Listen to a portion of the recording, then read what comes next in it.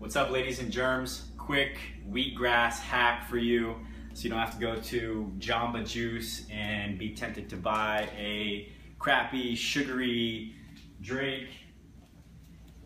So, I like wheatgrass, but I don't like paying $4 for a shot. So, I went to Sprouts and found this thing, $8 for the entire thing. And you could put it in your fridge and just chop pieces off of it uh, out of your fridge, but I thought, why not just plant it in my ground? I put a little fertilizer down, and it's actually uh, it's actually staying alive. So I've been coming out here and chopping little pieces off of it in the morning and taking some some wheatgrass shots. But uh, I'll show you guys how to uh, how to do this real quick. Since we can't uh, we can't be taking shots of alcohol because we got a baby and I got work tomorrow.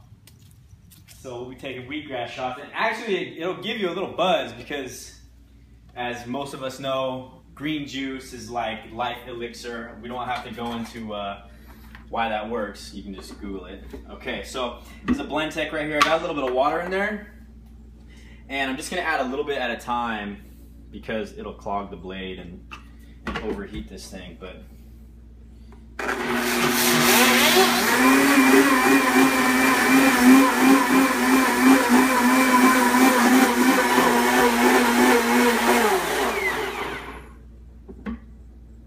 messy over here.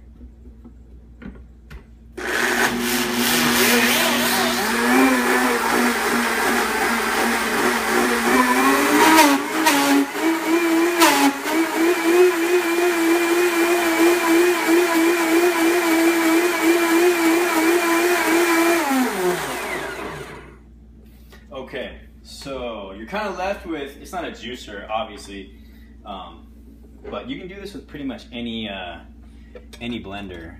As long as you don't throw all of the wheatgrass in at once, you'll be all right. You don't need to go out and buy yourself a $300 centrifuge blender or anything. You can do this with uh, your basic kitchen tools. And then you can just kind of kind of get this foamy stuff off the top with a, uh, a wisp or whatever this thing is.